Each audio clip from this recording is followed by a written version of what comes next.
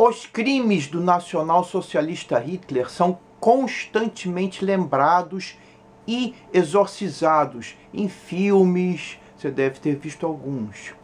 Museus do Holocausto, memoriais, aniversários da libertação de Auschwitz. Mas e os crimes igualmente bárbaros do camarada Stalin, hein? Não só não são lembrados, como em meios esquerdistas, os mesmos meios que demonizam os Estados Unidos e Israel e fazem vista grossa para o festival de crimes no resto do mundo. Pois bem, em meios esquerdistas, dizia eu, o guia genial dos povos como era conhecido o Stalin em seu auge, tem seus simpatizantes. Afinal, não foi Stalin quem industrializou a Rússia e fez dela uma potência? Os fins justificam os meios, dirão. Quando eu era novinho, li a biografia do Stalin escrita pelo Isaac Dolcher. Está aqui ela aqui em dois volumes, este volume 2. Aqui o volume 1. Um.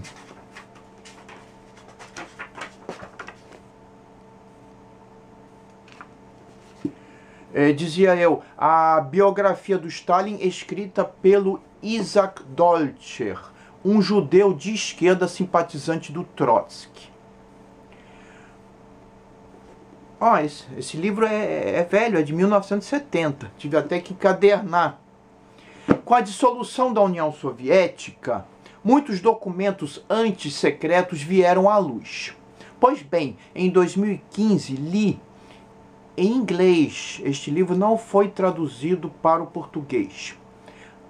Uma biografia de Stalin do historiador russo Edvard Radzinski que teve acesso aos arquivos secretos da afinada União Soviética. E fiquei horrorizado, indignado. Assim como supostamente existiria um Deus que premia os virtuosos, parece que existe um diabo que premia os perversos e faz com que todos seus empreendimentos deem certo. Tá aqui o livro do Radzinski, em e-book.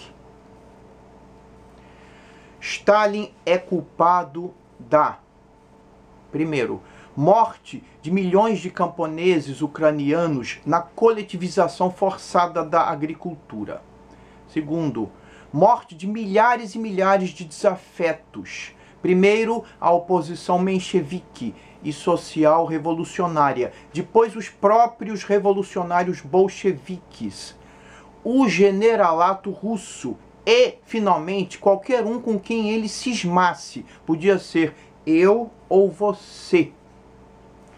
Terceiro, trabalho escravo nas grandes obras de construção de barragens hidrelétricas, etc.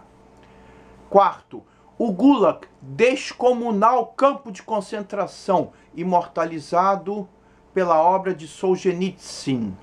Quinto, a morte de desafetos no exílio. O assassinato de Trotsky no México foi apenas a ponta do iceberg. Sexto, a deportação forçada para regiões remotas de etnias inteiras.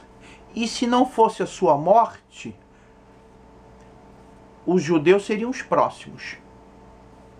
Sétimo, o abandono de Varsóvia às tropas alemãs já no finalzinho da guerra, quando o Exército Vermelho poderia ter intervindo e poupado milhares de vidas.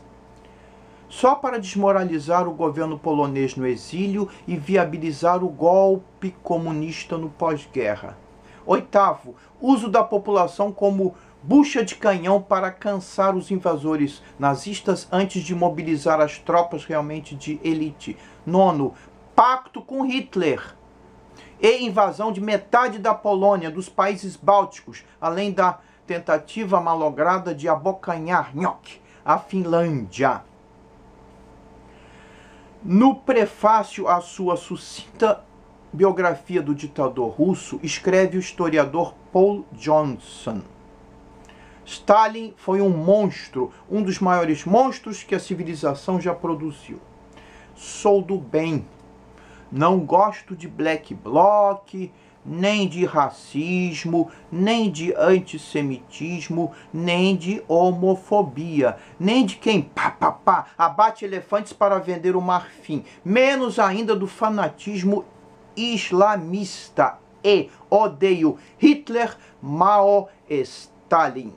Finalmente, se gostaram, coloquem lá gostei e assinem meu canal para acompanharem meus vídeos sobre clássicos da literatura, cultura, filosofia, etc. Tchau.